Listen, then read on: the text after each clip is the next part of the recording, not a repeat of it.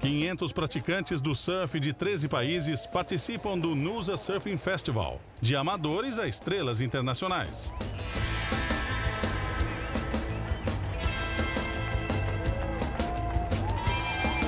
Todos unidos em busca da onda perfeita, no maior festival de surf do mundo.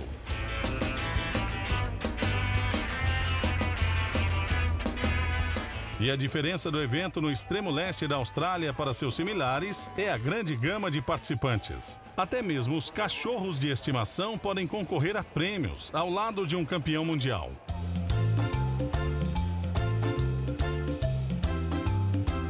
Desde sua introdução na festa, o show canino se tornou um dos eventos favoritos do público e dos participantes.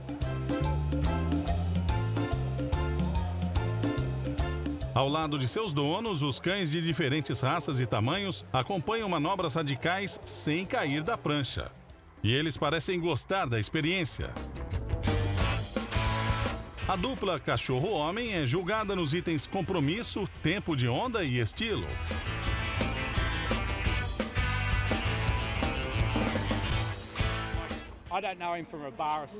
Esse surfista que levou seu cão para o mar garante que o animal de quatro patas adora a experiência e nem fica nervoso com o público e o barulho intenso na praia. Mas o festival não tem só brincadeiras. Apresentações da campeã mundial Lane Beachley estão entre os eventos que mais chamam a atenção para as praias.